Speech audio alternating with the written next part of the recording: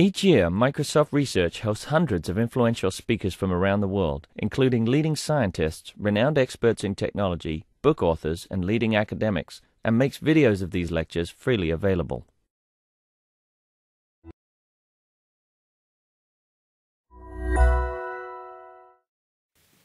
Okay, great. We can start. Um, great pleasure to have uh, Jonathan Huang here. Uh, Jonathan did his PhD with Carlos Guestrin at CMU about uh, distributions over permutations and similar structures, and uh, is now doing a postdoc at Stanford, um, working on some very exciting topics around machine learning and online education. Please. On my mic. Okay, can you all hear me? Good. Uh, so I, get, I, I, was here a few years ago, and this is going to be slightly different from that talk. So uh, I like to I like to begin with a quote from from Steve Jobs. I I actually graduated from Stanford as an undergrad in 2005, and Steve Jobs was my commencement uh, address speaker that year. And uh, you may have seen some of you may have seen his talk on YouTube and he has a number of interesting little stories. But one, one that sticks out in my mind is this. He says that all of, uh, all of my working class parents' savings were being spent on my college tuition. And the minute I dropped out of college, I could stop taking the, the, you know, the required courses that didn't interest me and begin dropping in on the ones that looked interesting. Uh, and for, for those of you who don't know the backstory here, the classes that he was talking about, the class that he was talking about was, was a calligraphy class that he found at a local college, and it ended up playing a, you know, somewhat of a big uh, role in his life later on when he went on to design typography interfaces at Apple Computer. Uh, I like to bring up this quote not to you know, tell people that they wasted their time in college. I don't think that Steve Jobs meant this. But uh, you know, the, the point of his talk is to uh, get students to pursue their passions, or in a more immediate sense of this quote, to, to learn what they're interested in learning, uh, which is very good. It's very, uh, you know, very uh, inspiring, but it does bring up a few questions. And for me, you know, one thing that I think about is, what if I don't have a good calligraphy class in my uh, in my area? Or what if I don't have a good machine learning course or a good computer graphics course? What do I do? Um, and so that's, that's why I'm very interested, very uh, excited about the, the, the rise of free open online education. Uh, nowadays, I can go online and I can take really anything under the sun, uh, including these two courses from edX and Udacity on computer graphics, which would have delighted 16-year-old me who wanted to make computer games but couldn't find good textbooks or good classes nearby. Uh, has anyone here taken a MOOC, by the way? Not that many. Oh. Okay, well, so MOOC stands for Massive Open Online Course, and now you can go online and you can take machine learning. You can take, uh, you can learn how to pro program an autonomous vehicle, or you can uh, build your own search engine, and completely for free, or at least for very low cost, uh, in a number of different websites. Uh, this is really exciting for a number of reasons. And you know, I should say that online, online education has been around for decades now, but, uh, but it's really become a big thing in the last two years with people from all over the world turning to things like MOOCs, uh, but online education in general. Uh, and so that's been very exciting. Um, and, and to take things a little bit beyond you know, pursuing our passions or Steve Jobs, let's look a little bit at computer science. Uh, and these numbers, I apologize, are for the US. Uh, computer science right now in the US is the top paying college degree. Uh, there's so many job opportunities available and, you know, and, and not enough students to, to fill those job opportunities, which is good for people like you and me, uh, but it does point to this big kind of uh, gap here, this uh, huge uh, room for potential. And you know, one of the reasons for this gap is that a lot of, still a lot of formal education outlets don't, don't recognize computer science and in some respects. Um, nine out of 10 high schools in the US don't teach, don't offer computer science courses, and most states don't recognize computer science as something that would satisfy a, uh, you know, a requirement for math or science. And you might think, well, okay, I'm just going to uh, wait for, for college and do computer science in college, uh, but I have to warn you that college is also getting more expensive. And you know, the conclusion of, of this is that there's you know huge room for improvement, room for growth. But uh, and and so if only we could offer good quality computer science education at low cost to many more people, uh, then we can make a big impact in this world. And so just to give you an idea of how much impact, how much, uh, how much reach online education can have, I'm going to borrow a slide from Andrew Ng and Daphne Koller from Coursera. Andrew teaches a machine learning course at Stanford. And when he teaches it at Stanford, roughly 400 students enroll. Uh, that number is a little bit outdated now. When he put it online, 100,000 students uh, showed up. Okay? And so typically, if you ask Daphne or Andrew, they'll say that if Daphne, sorry, if Andrew were to uh, wanted to cover as many students at Stanford as he did in one offering of his online course, he'd have to teach his class for 250 years, um, which is a lot, right? But they are sweeping something under the rug uh, in, in saying that number. Um, and, and here's the way I like to, to say it. Andrew has a staff of 10 TAs when he teaches this course at Stanford. And, when, uh, and, and, if he were to keep the same staff to student ratio in his online course, he'd have to actually have 2,500 poor graduate student TAs, which is, you know, not exactly the vision of, uh, you know, bringing education to everyone that we imagined. Um, one, of the, one of the problems with not having a big enough staff is that it really limits the types of assignments that you can give to students. Uh, you know, this is not always a hard thing. So if, if your assignments are always multiple choice questions, for example, then uh, this is fine. You can grade everyone with a computer. But it's really at, at, the other end of the spectrum when you're talking about mathematical proofs, essay questions, poems even, that it gets really hard for a computer to, to uh, grade or give feedback to, to those students. Um, there, there is a lot of work on this end, some, including some of my own work on crowdsourcing for, uh, for grading and MOOCs. But today I'm going to talk about the middle of the spectrum, uh, which, where I think programming assignments lie.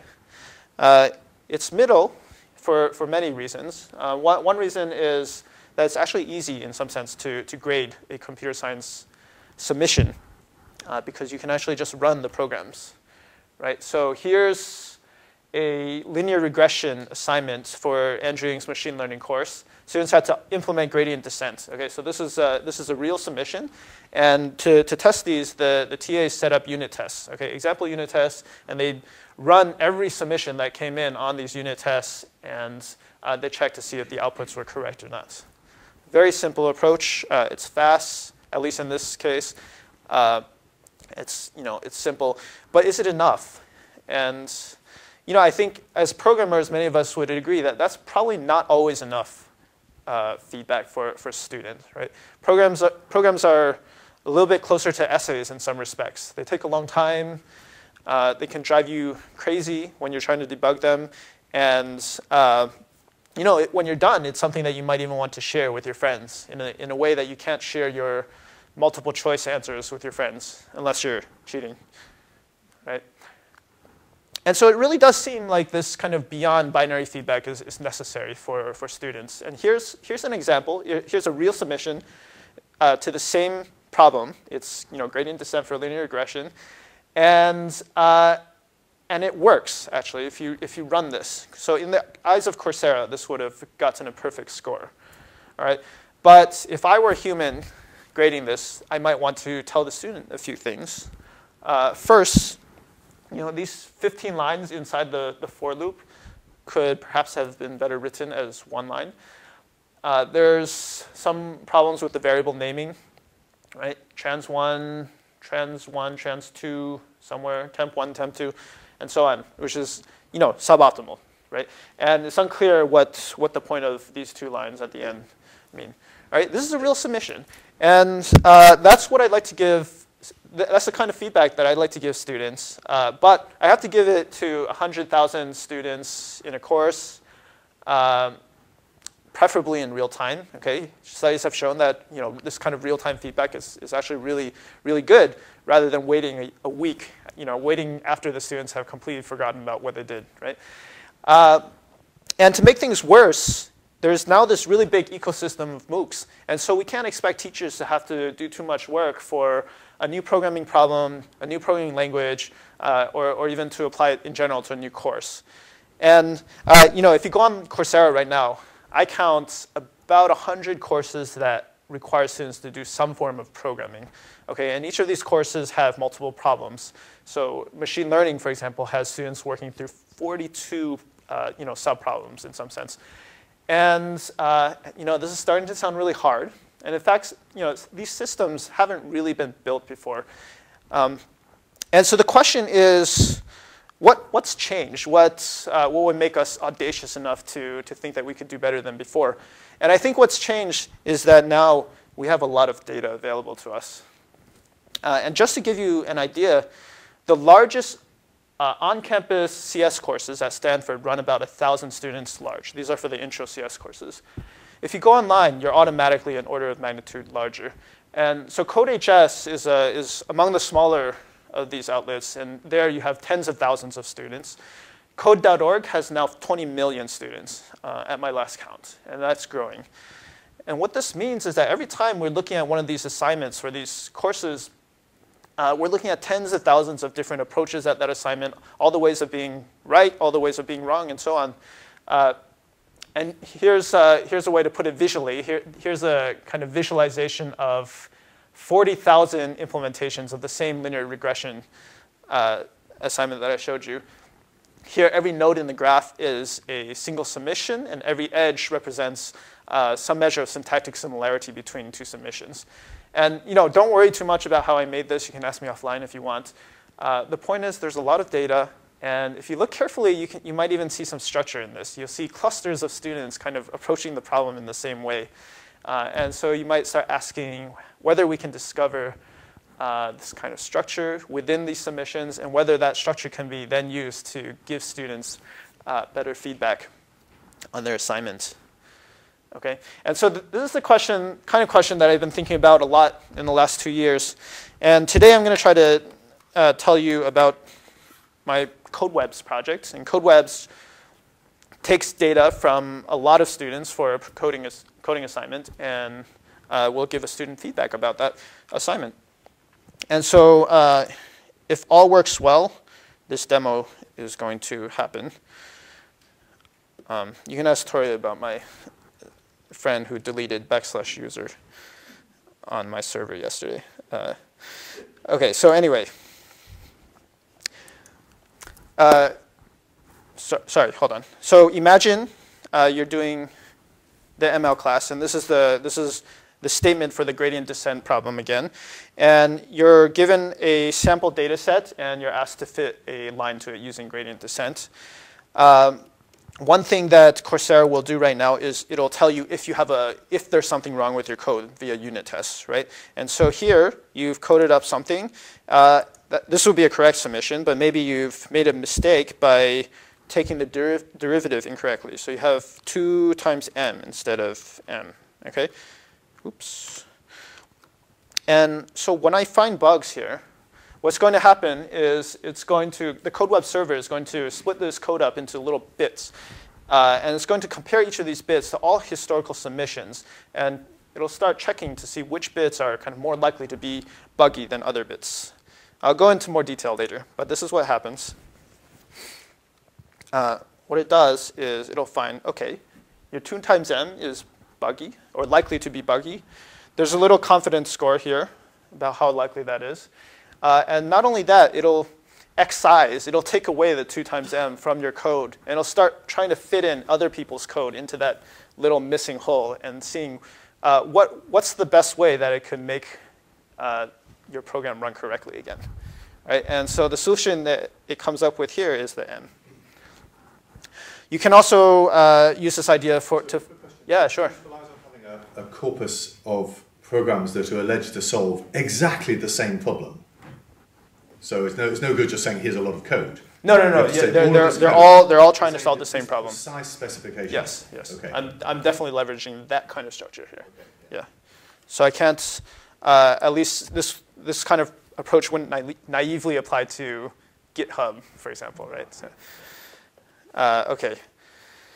so here's, here's an application that CodeWebs does where uh, a student's coded something up and maybe they've gotten all the bugs out, uh, but they want to find a better implementation of something. Okay, so here, uh, first I'm going to parse it.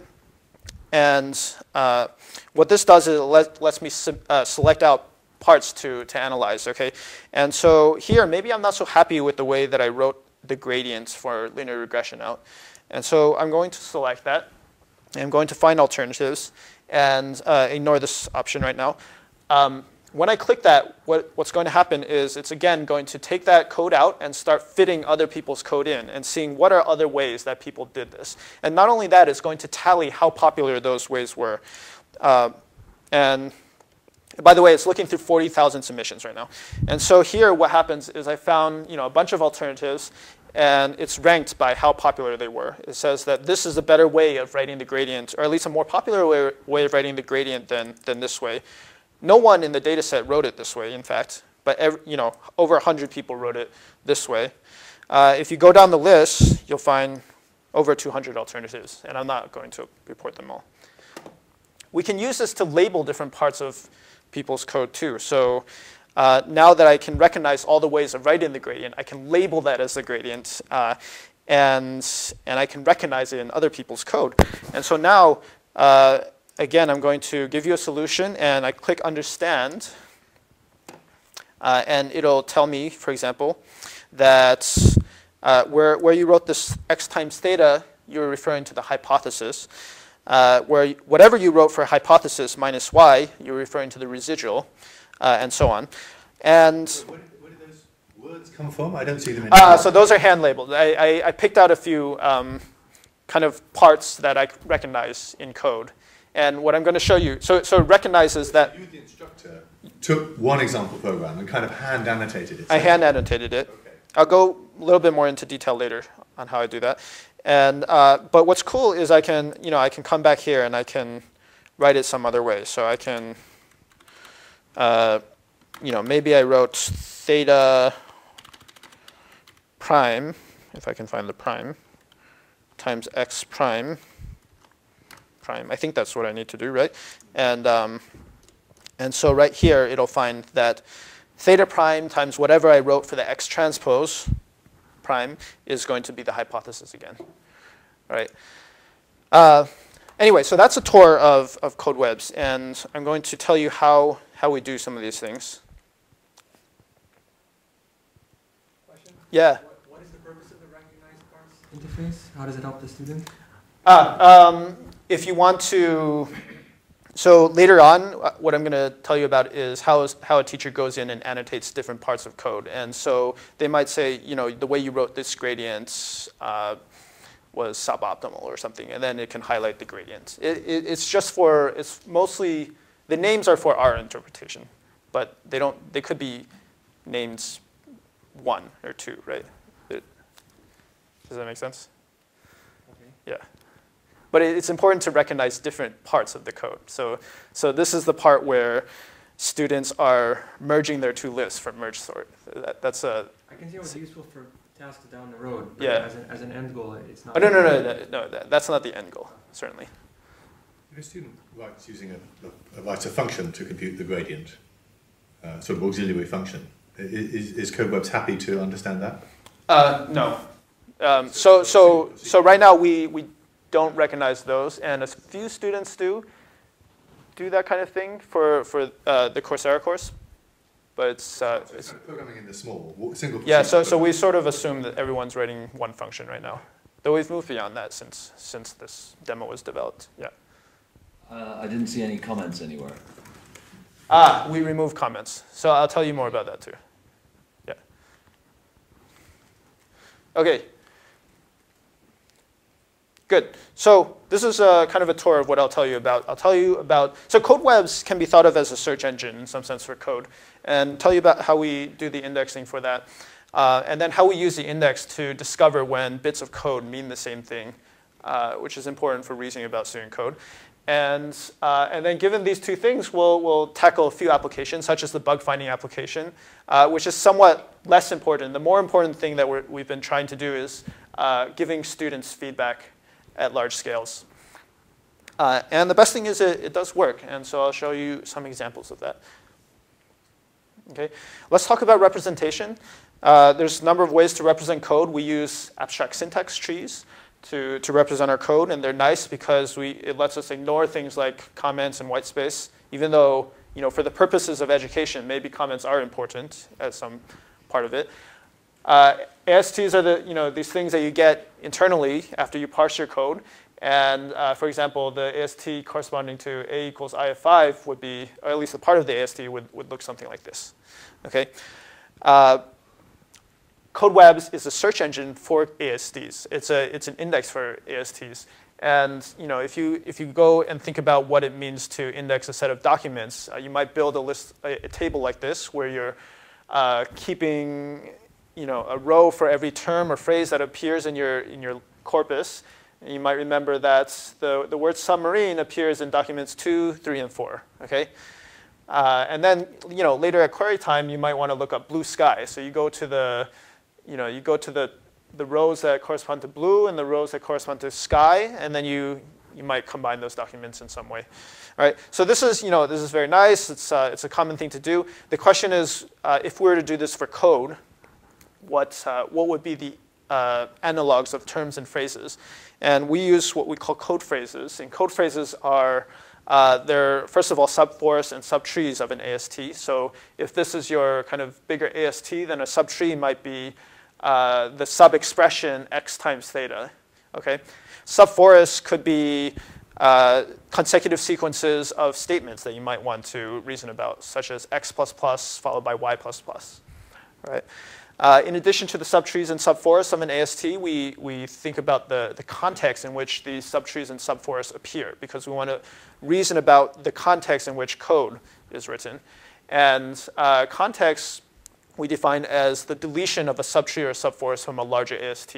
And so in this case, the, the context of x times theta within the larger mathematical expression looks something like this. And, and we'll, we'll remember uh, where the smaller subtree was deleted out and put a little kind of a special replacement site node there to remember. Okay? You can't search for context, or can you search for context? Yeah, yeah, we do search for context. One of the unusual things, the, the surprising things perhaps about ordinary search engines is how much mileage they get out of very simple things like just search for words, like no context stuff happens. So yes. You're already doing something noticeably more sophisticated here. We are, yes. And, and you know, the, the, forced to? the, we were forced to. I'll show you how we use context. Um, you know, the, the, the, the behavior of your code, the, the context of your code very much, much matters for the behavior of, you know, the thing that, that, it, that that's inside the context, right? This is a true statement. Right? Um, okay, so uh, CodeWebs is uh, index for ASTs. So just like we index documents by terms or phrases in which they appear, we can index the ASTs in our, in our data set by the code phrases that, that are contained in the ASTs.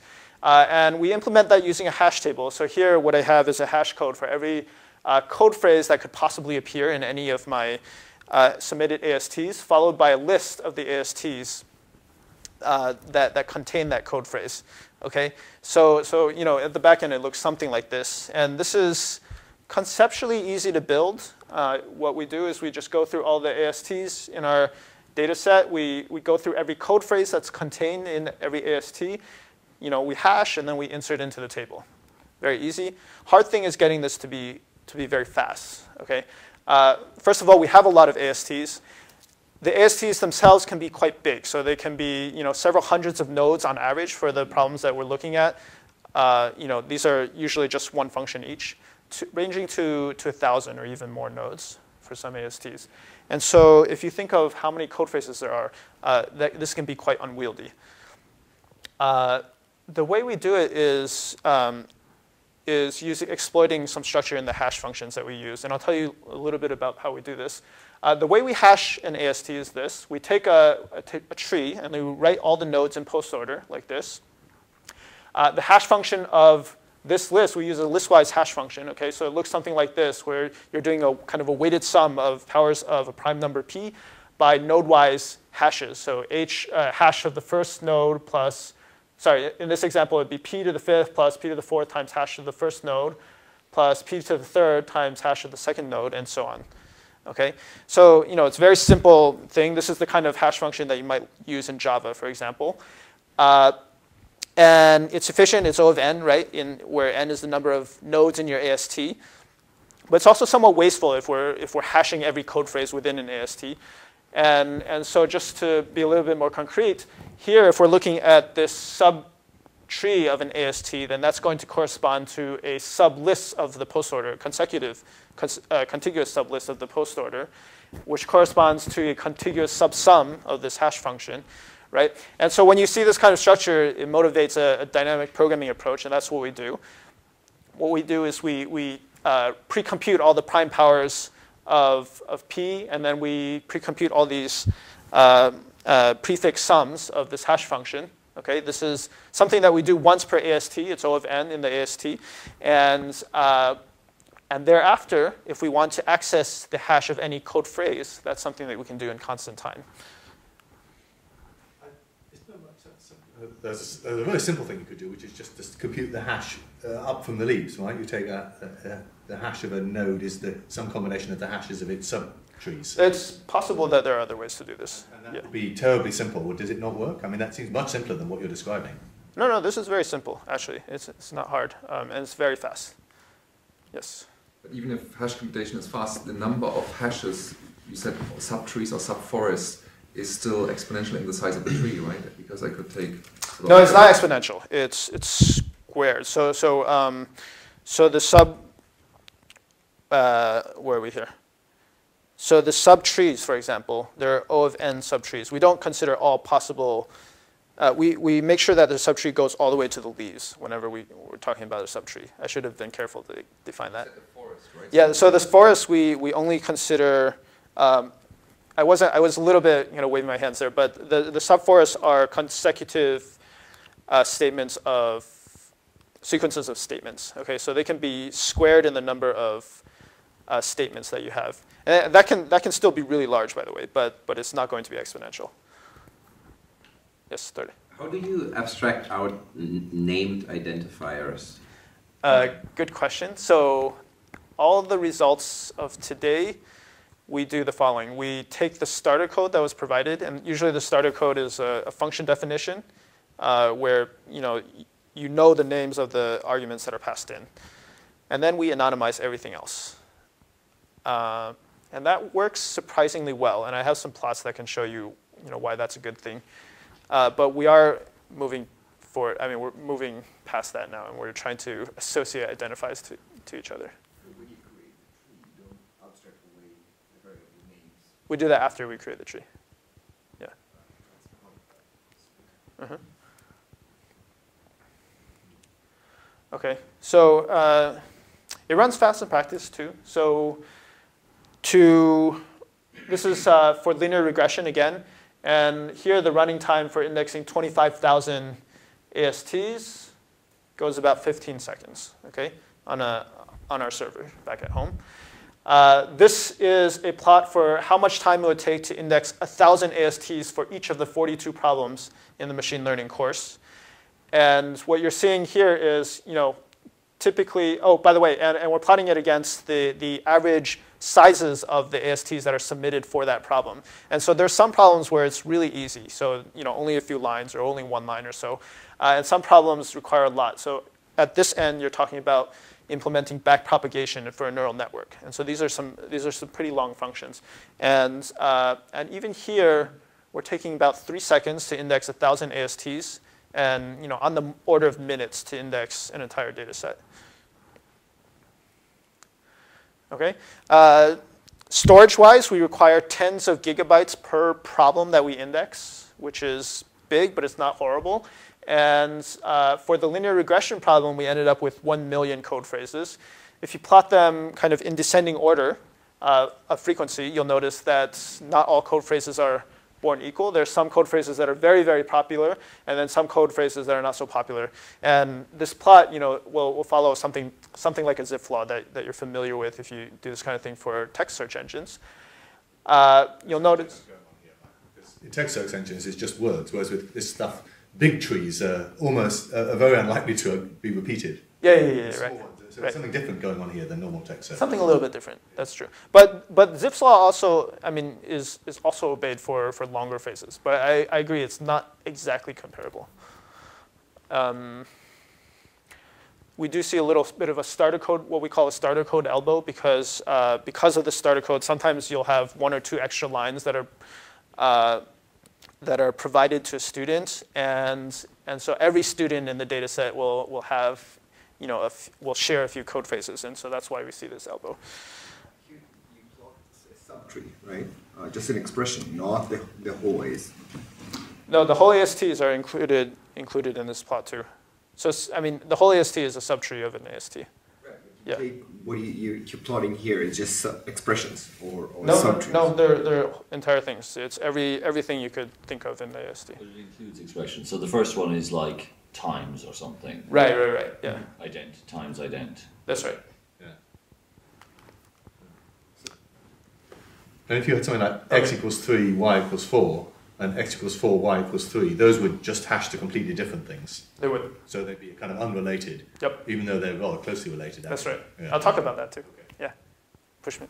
My, my question was sort of related. So if there is a component which is repeated in a different uh, program, so linear regression might appear somewhere else as a small chunk in a bigger program. So how would the index sort of deal with that? Yeah, so that's a good question. We're, we're currently not relating these uh, submissions across different assignments, though actually for this class it would make a lot of sense to do so because you, re, you reuse code. Um, and so you might call the linear regression implementation from a later thing. Or uh, another example would have been the neural network problems where people had to implement backpropagation, then they had to implement a regularized version of backpropagation, uh, and so on. Uh, but we, we completely ignored that. Okay, so uh, let's talk about bug finding. I told you that Coursera will take your thing and it'll run your unit tests. It'll tell you whether your code is uh, right or wrong. Um, what we'd like to do, what CodeWebs would like to do, is uh, find out where the bug is, right? So, so here, one, one common mistake was to put a sum here. There's no sum in the correct implementation. And it's a common mistake because there's a lot of implicit sums running around these uh, matrix operations here, so a lot of students got confused. What we like to do is figure out where the bug is and what the solution is. And I'm not trying to tell you that this is what we should tell all students, right? We shouldn't tell students who ask what the correct solution is. Uh, but it's important to understand what their, what their bug is in order to give them a good feedback. So it's just, it's an intermediate step along the way. Okay? Uh, this is, you know, obviously a very hard problem in general. Uh, but data gives us a way to look at this in a different kind of different manner, right? So, so we approach this kind of more from a machine learning perspective, and here's how we do it. Let's look at whether the sum expression is a bug. Here, the sum expression is going to be this red subtree uh, with this wood texture that I got. Uh, first, we query the index, and that's going to tell us which ASTs contain that, uh, that summed expression. Okay. Uh, then we then one simple thing we can do is look at you know whether they pass the unit test or not. Uh, this gives us a number. We can say that, okay, 83% of ASTs containing this code phrase were buggy. Okay? Uh, so that's, this is somewhat of a cartoon. It, it, the, the problem gets a little bit harder than this. And you know, the reasons why it's harder is, first of all, we have to do this for every single uh, subtree and subforest in the AST. So, so first, I mean, we have to do a lot of queries per AST. And then uh, kind of going further than that, we don't, what it really tells us is that that's the probability of an AST or a subtree containing a bug, not whether the subtree was a bug. And, uh, and so what we care about is finding the smallest uh, subtree in, this, in, in some sense that was responsible for a bug. Okay? And then on top of that, what we can do is we can remove the subtree and query the context for, for things that could potentially fit inside that uh, context. Uh, I won't go too much into detail about how we do that, but, but I, I will will talk more about context queries later on. Uh, this is our performance on F-score. And so the, the task here is to predict whether a piece of code has a bug or not. Okay, we don't have ground truth on where the bug is. And uh, here we're comparing CodeWeb's performance to a baseline, which is five nearest neighbors using tree edit distance between ASTs. Uh, you'll notice that typically for most problems, CodeWebs does better. Uh, but you'll also notice kind of a range in f-scores. And the, the circles, the, the circle areas are representative of how many nodes per AST were, uh, there were for, for each assignment. And so what you'll notice is that for the larger assignments, we typically don't do that well uh, right now in bug finding. Okay? One of the things that one of the things that makes bug finding hard is that there's many ways to skin a cat, as I like to say. Right? There's many ways to write code that does the same thing. Uh, I might write x times y plus z. Danny might write y plus z times x. Uh, and, and if we're doing this hashing kind of matching, we're never going to be able to generalize uh, the things that we learn about the students who write it this way to the students who write it this other way, right? We might have an intermediate temporary variable. We might need one, yes, I agree. Somebody might write one, Yes, and then you'd like that too to, yes, you know, temp equals y plus z x times temp. that's right. Well, so, so let, huh? That sounds pretty difficult. It does sound pretty difficult. Let's go on. Um, I'll, I'll, I'll, go, I'll go more into details on how we do this.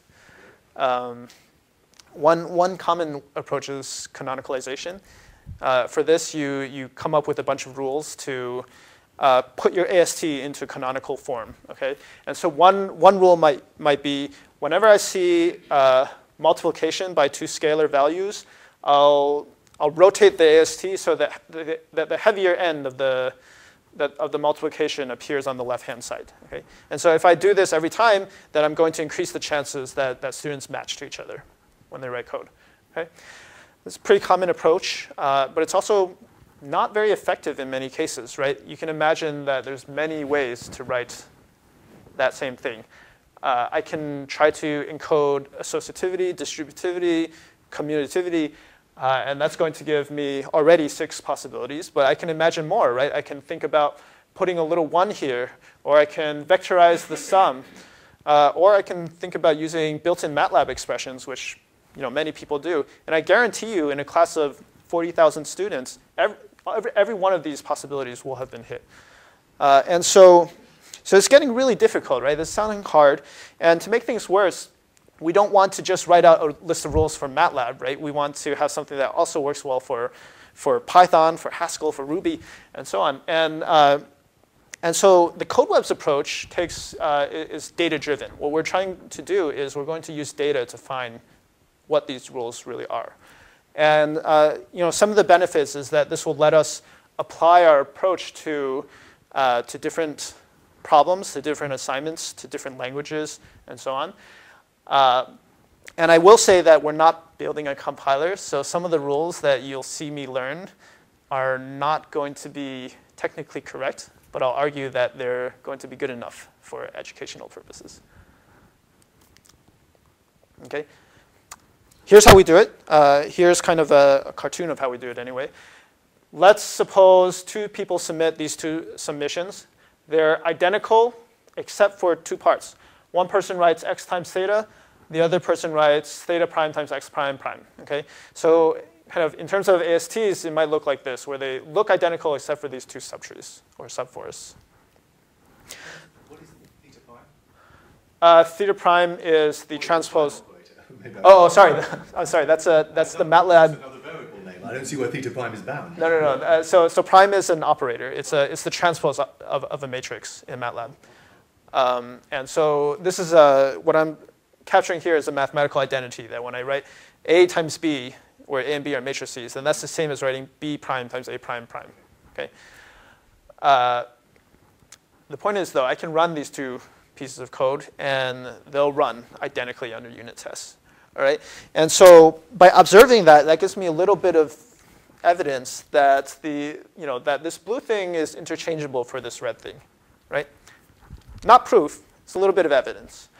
Uh, and, and here's the counterexample for why that's not proof. Um, can, can anyone spot the, the, two, the, the difference between these two?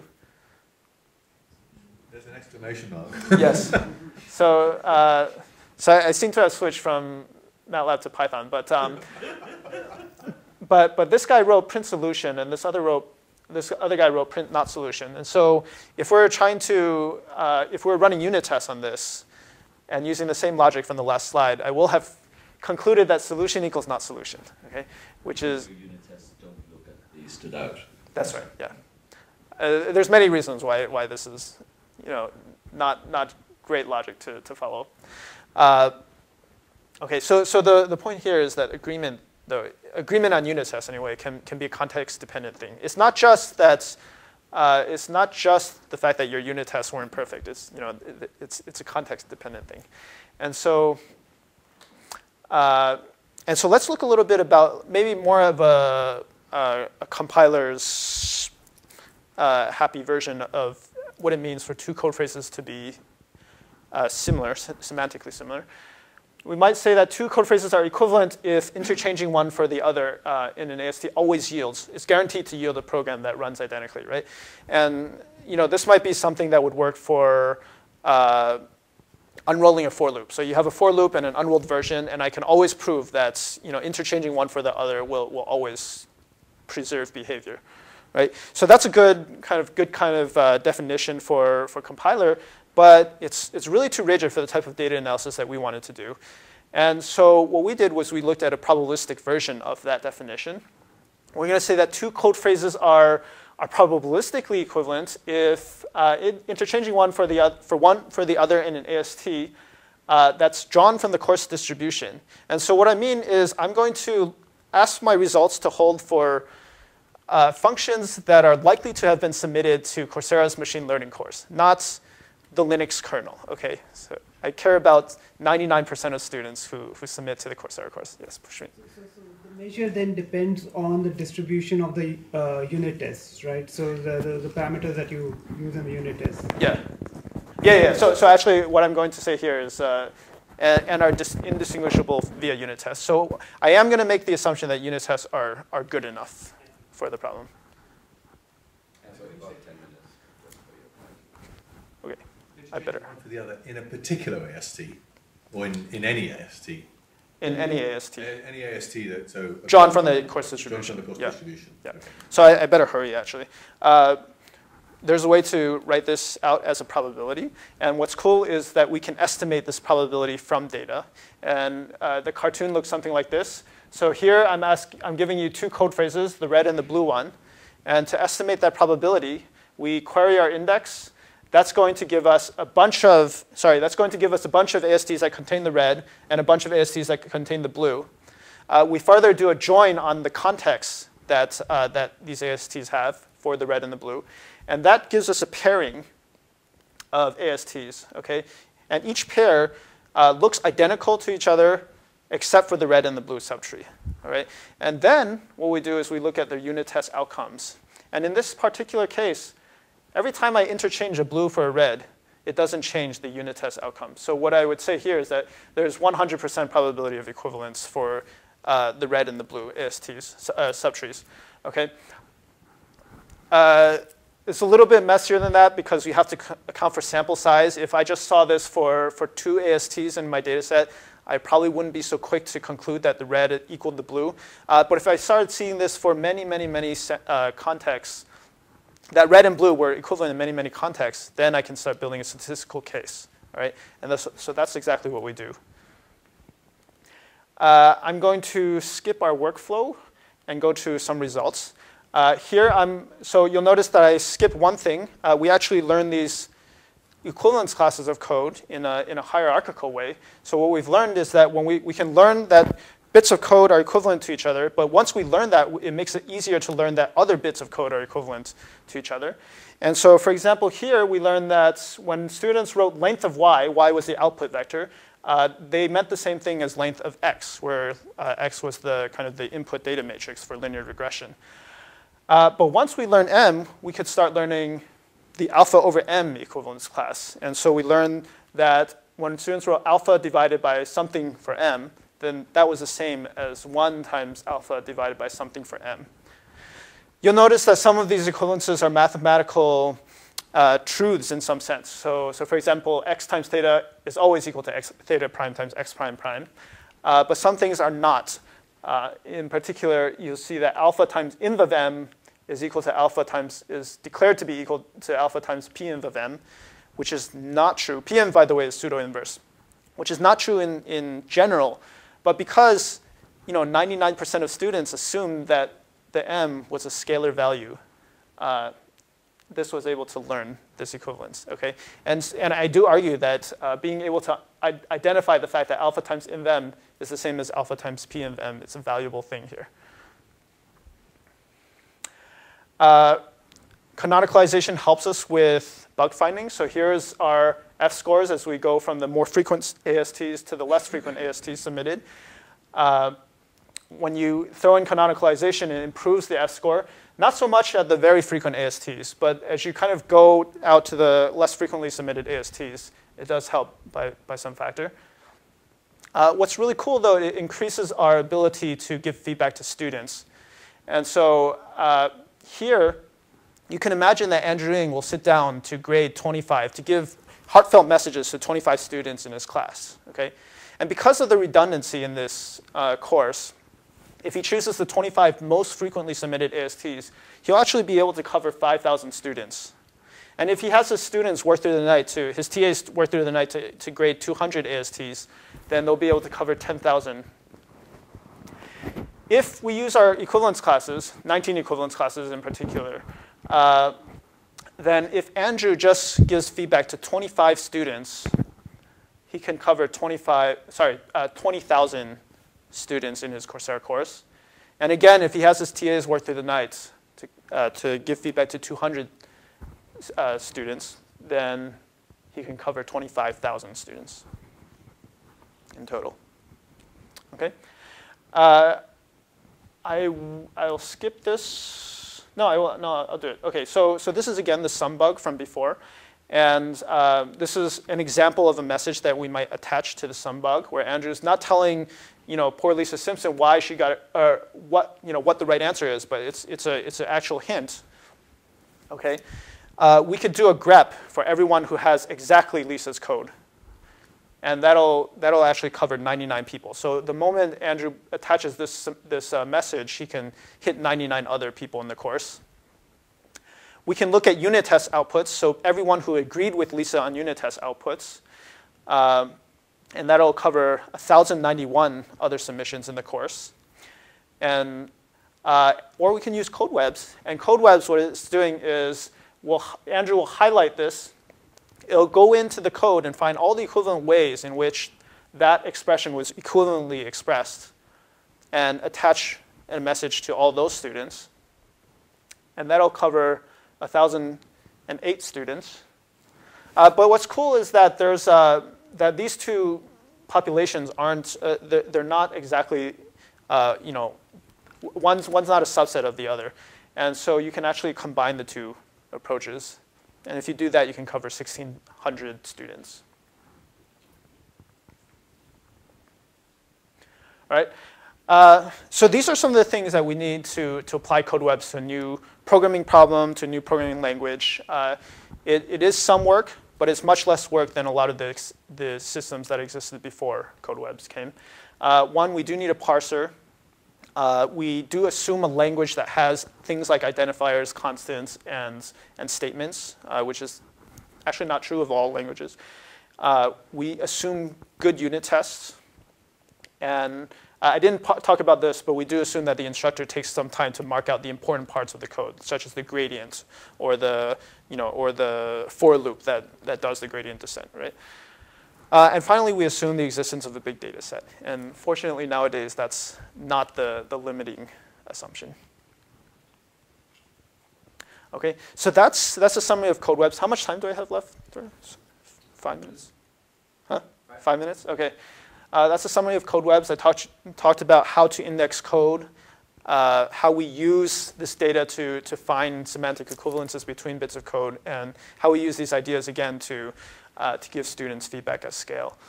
Uh, let me step back a little bit and talk more generally about, about myself. Uh, I'm, I'm interested in a lot of different kind of data science problems. I talked to, to you about education. Uh, if you come to my talk three years ago at MSR Cambridge, you, you can hear about my multi-object tracking uh, work in computer vision as well as uh, ranking, ranking uh, work in, in, preference analysis. And uh, in general, a lot of the problems that I'm interested in dealing with are the ones where uh, you have to reason with noise and uncertainty, and that makes it difficult because a lot of these problems also have this combinatorial explosion in possibilities. Uh, and so what I'm very interested in is finding that special bit of structure in these problems that, that, make, that, that makes these algorithms tractable or makes the models more generalizable to, to unseen data. Uh, the AST's work can, you know, can sort of be thought of as a way of analyzing directed trees, where, where the structure is this kind of structure of equivalence classes that lets you factor the space uh, and you know, allows you to give feedback at scale. Uh, I won't go into detail, but you know, feel free to ask me offline if you want to hear about the, the group theory work on, on, uh, on analyzing distributions over permutations or the riffle independence work for analyzing distributions over rankings very happy to talk about that too. Uh, just, to just to talk a little bit about where I'm going next, uh, I do think that computer scientists, algorithms are going to play a big role in education down the line. And uh, what I'm very interested in dealing with are the problems of sustainability and scalability in education. Uh, I talked a little bit about the scalability problems that we run into for, for online education these days. Um, some of you may have heard, so some of you may have heard of sustainable agriculture, and I like to think about what it means for education to be sustainable. And you know, we are sustainable in some ways in kind of brick and mortar classrooms, right? We, a, a subset of the, of the students from today are going to become the teachers of tomorrow, right? And so if we keep on going, we'll be able to teach students forever. Uh, but that's, uh, things are changing a little bit in the online world. And the thing is, the, the boundary between students and teachers is, is dissolving. It's more fluid online. And so sustainability in online education uh, has more to do with students who, who can be teachers themselves. Uh, and, and one of the ways that we're seeing this already in MOOCs is through peer assessment, peer grading. Peer grading, if you haven't heard of it, is, uh, you know, suppose you're trying to grade someone's essay one way to do it is to just pass it to the kid next to you. Or if you're online, pass it to five random people in the course. They grade your essay and you get the, the average or the median of their, what they say about you.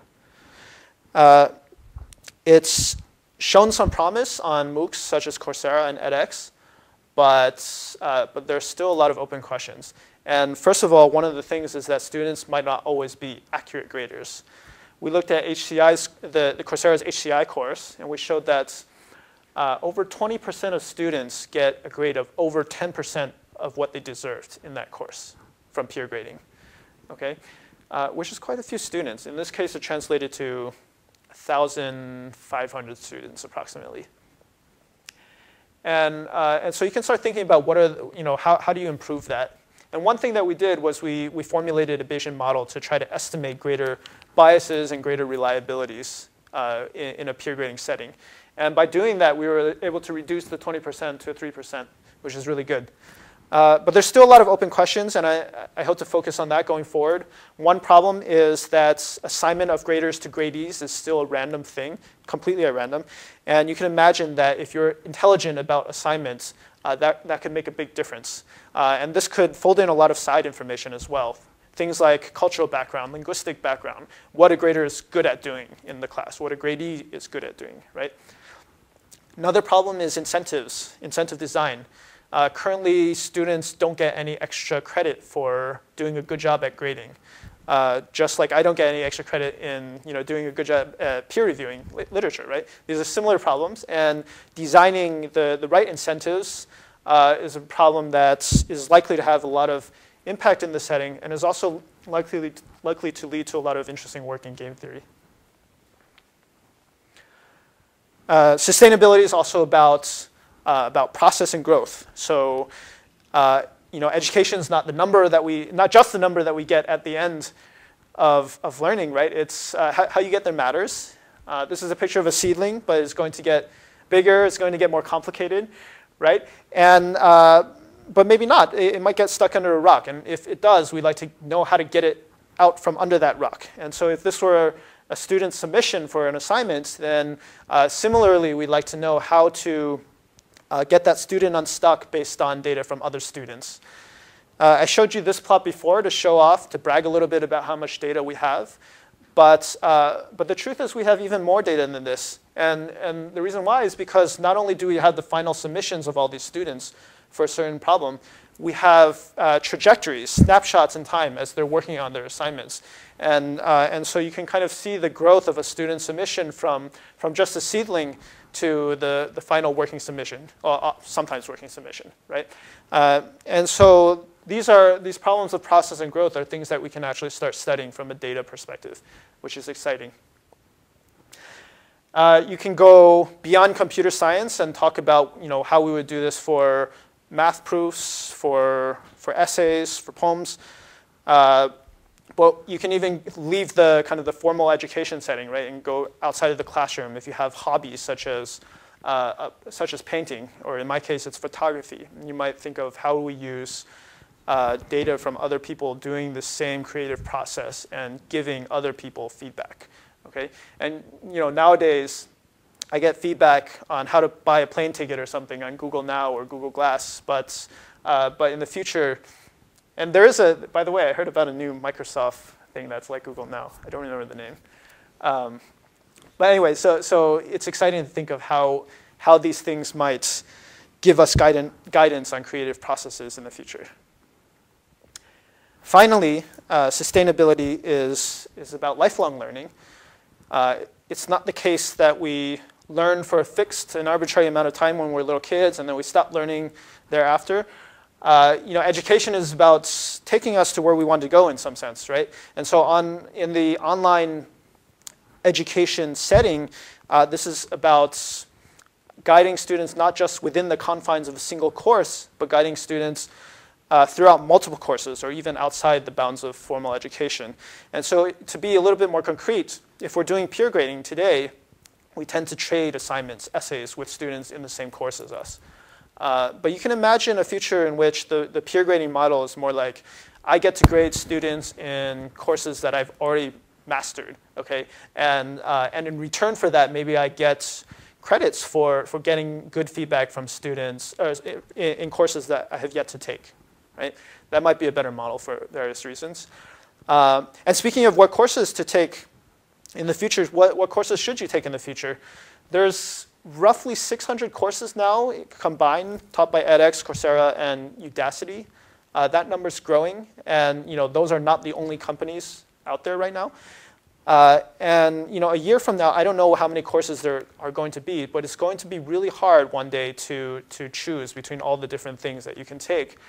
Uh, and this is a problem that goes beyond the typical kind of Netflix movie recommendation setting, because not only do we want to tell students what course to take, take next, we, we really want to chart out a curriculum for, for these students to follow uh, to kind of guide them along their educational journeys in some sense, right? And so, and so you know, stepping back, this, this problem of guiding students in uh, their educational journeys is, is going to be super important and uh, difficult from a data science perspective, difficult from an algorithmic perspective, uh, but ultimately worth it if we can help people like you know, the unknown Steve Jobs or the unknown Steve Wozniaks out there really pursue their passions. Uh, and, you know, and even if your name isn't Steve, right? So, uh, so thank you very much. These are, this is a list of my collaborators, and I'm highlighting three names in particular, Chris Piech, Andy Nguyen, and Leo, who, uh, who worked very hard on the CodeWebs project with me. Thank you.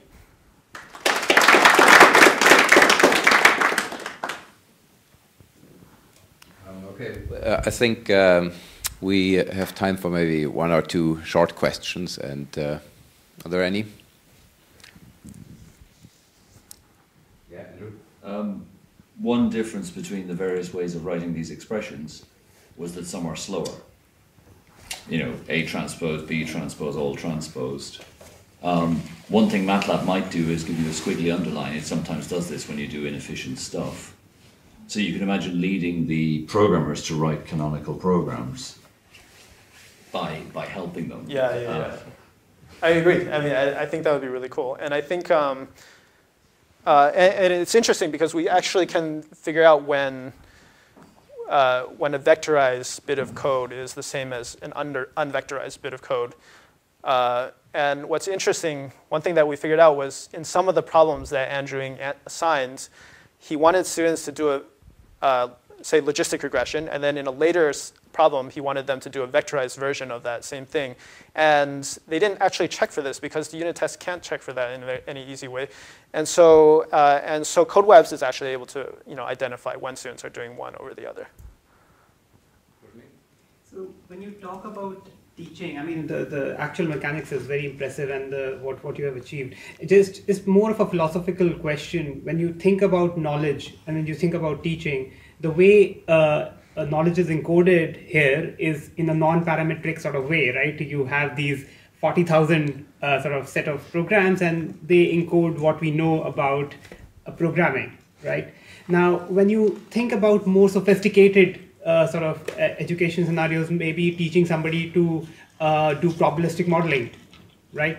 Uh, then there might not be uh, many uh, sort of concrete representation of knowledge, and also you might need to weigh some sort of code fragments more importantly than others, right? So have you sort of thought about how does how do how do these approach approaches go from the simple end of the spectrum teaching somebody something very simple to a more sophisticated end of the spectrum when you are basically really thinking about teaching somebody how to do probabilistic programming?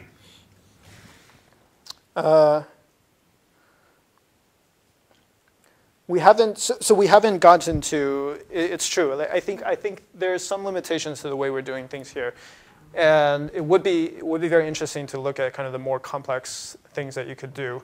Uh, currently, one thing that we're looking at is uh, looking at a data set where students got to decompose their code in different ways, uh, just as a you know next step forward. And like right now, for, for all of these assignments, it's just one function. You get the wrapper and you have to fill it in.